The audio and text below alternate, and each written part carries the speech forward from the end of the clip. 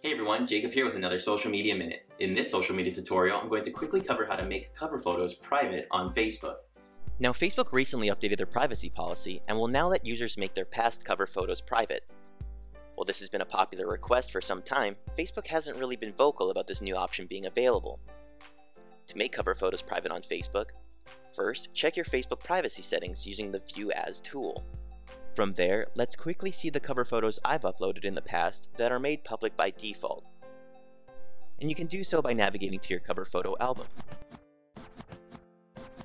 Now that we can see which of your cover photos are public, all you have to do is simply open up the photo and select the best option from the dropdown for your privacy needs. For example, most people will do friends only, but you can also choose to hide your cover photos from everyone by selecting Only Me.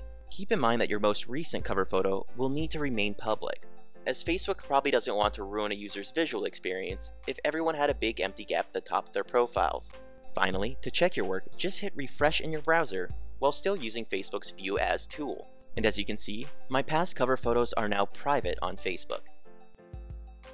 But that'll do it for this edition of the Social Media Minute. If you liked what you saw or learned something new, consider subscribing to my channel or giving this video a like. Other than that, I'll see you back next week for another social media tutorial. Thanks for watching.